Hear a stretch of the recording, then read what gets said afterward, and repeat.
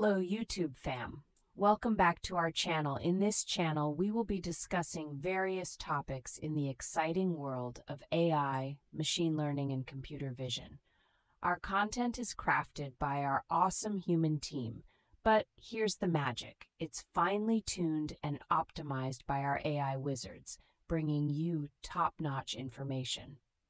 And guess what? The presentation is delivered to you by our AI hosts and voiced by our incredible AI avatars. Let's get started. Welcome back. In this video, we'll work with the SO101 robotic arm using a leader-follower setup.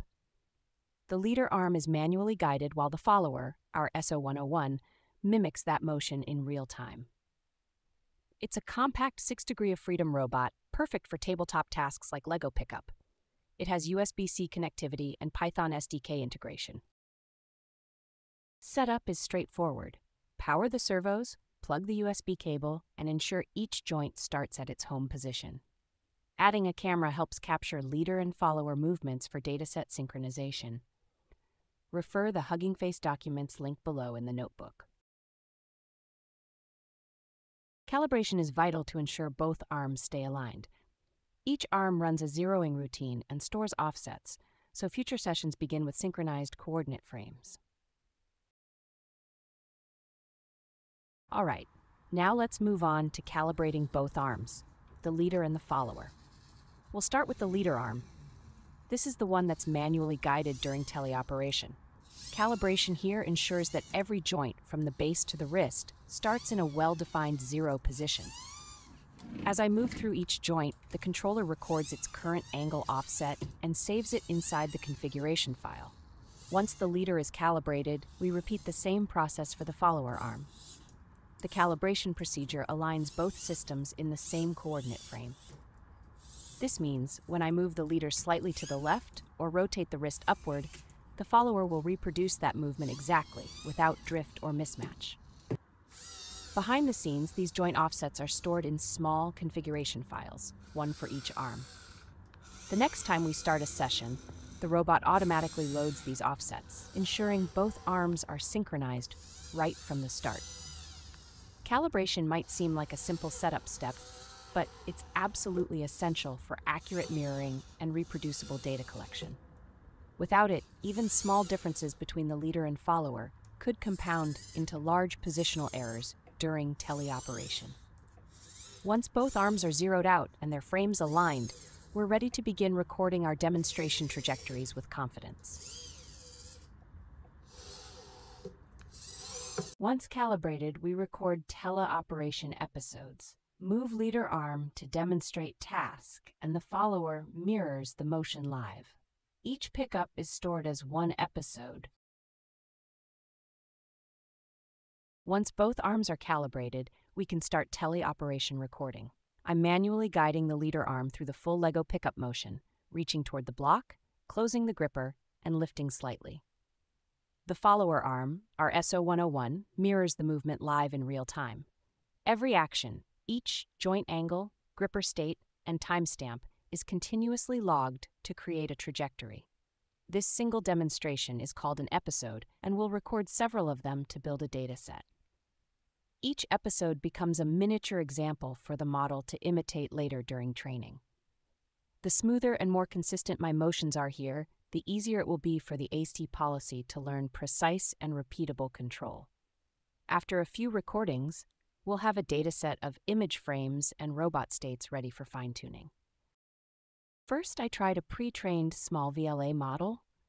When asked to pick up the block, it moved to a neutral center pose, this showed that we need to fine-tune it for our specific hardware and environment.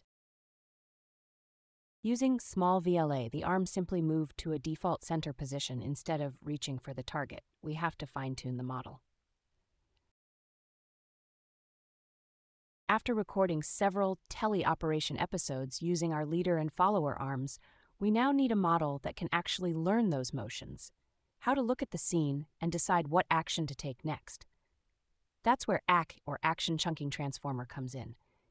ACT takes both the camera images and the robot's joint states as input and predicts the next set of actions, the 3D position, rotation, and gripper state. Instead of depending on reward signals like in traditional reinforcement learning, ACT uses imitation learning, directly cloning the behavior shown during teleoperation. And because it's designed for efficiency, it can be fine tuned even on a Mac GPU, making it practical for small scale robotics experiments. I recorded around 50 episodes. I trained the policy for around 40,000 steps on a Mac GPU using MPS, used the LeRobot train script. Important parameters are the policy type, which is ACT. We need to provide the dataset location and steps. Each thousand steps takes roughly 10 minutes. During training, the model gradually learns to replicate the pickup motion from our teleoperation data, mapping the leader's arm movements to the follower with increasing precision. As the fine tuning progressed across about 50 teleoperation episodes, the robot's behavior improved little by little.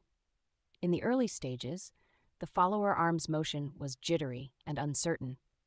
You can see it reacting slowly, sometimes overshooting or missing the Lego block entirely. That's expected at the start. The model doesn't yet know how to translate the visual information from the cameras into coordinated joint movements. Over time, as more leader follower data was collected, the movements began to look more deliberate. The gripper started aligning closer to the block instead of wandering off. Each additional demonstration helped the model understand a little better how the world looked from its own camera view and how that related to the next action it should take. The training loss kept dropping gradually, showing steady improvement.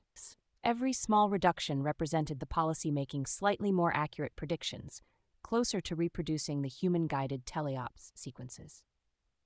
In these experiments, we use the action chunking transformer as our policy model. It takes camera frames and robot states as inputs and outputs a sequence of low level control actions things like XYZ position deltas, wrist orientation, and gripper open or close. It doesn't rely on reward functions or reinforcement signals. Instead, it learns purely through imitation, cloning the actions demonstrated during teleoperation. One advantage of ACT is that it's relatively lightweight to train. Lighting consistency, camera positioning, and even small changes in background clutter all influence what the model sees and how it interprets depth and color. In our setup, a single front facing camera worked, but adding side or overhead views would likely help the policy build a better sense of 3D spatial awareness. Multiple camera angles make a big difference for manipulation tasks like grasping or stacking. You can also notice how perception quality ties directly into control stability. Maintaining even lighting and reducing glare helps the model focus on the real object features, the contours of the Lego block, its color edges, and the surface geometry. As training progressed, the robot's coordination improved. The reach, grasp, and lift motions started flowing together instead of appearing as separate, disconnected segments. Watching the demo, you can clearly see this evolution. In the beginning, the follower struggled. It often stopped short or nudged the block without lifting it. Later runs show partial pickups and attempts that get very close.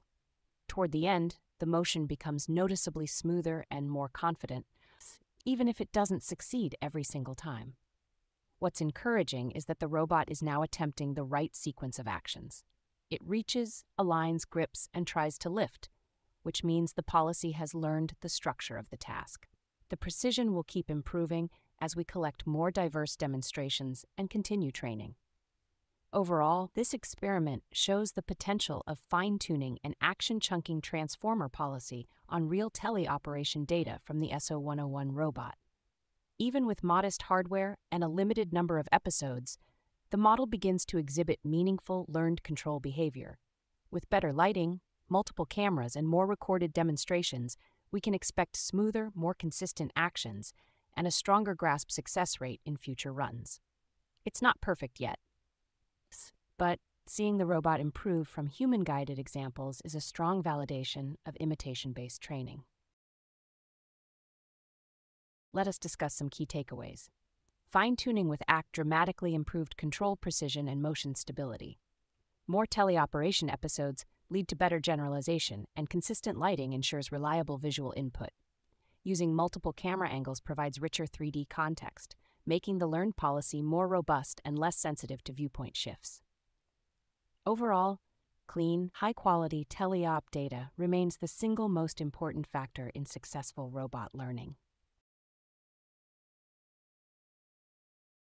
Thanks for watching. Stay tuned for more exciting adventures in the world of AI and machine learning. If you found this video helpful, don't forget to hit that like button, subscribe for more tech talks, and ring that notification bell to stay updated on our future explorations.